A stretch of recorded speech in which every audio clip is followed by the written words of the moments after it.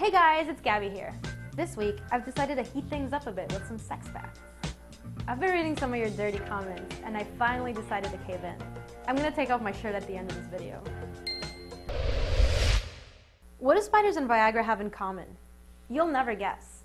There's a spider in Brazil whose bite can cause an erection that lasts for hours. The Brazilian wandering spider's bite can cause pain, raised blood pressure, and even an erection. For victims, you shouldn't wait to see if the erection lasts for over four hours, like the commercials say. Just go straight to the hospital. You know the movie Easy A, where everyone thought that Olive Penderghast was the biggest slut in school? Well, she's got nothing on this girl. To capture the world record, Lisa Sparks had sex with 919 men in a single day. It actually only took her 12 hours to do it. That's about 45 seconds for each guy. Talk about a quickie, right?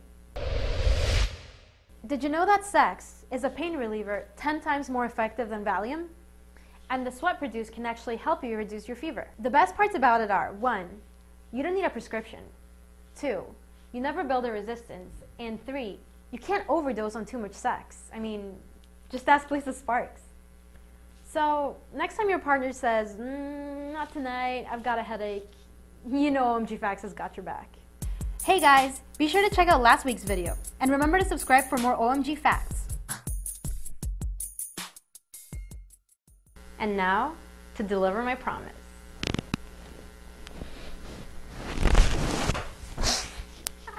Come on guys, really? This is YouTube.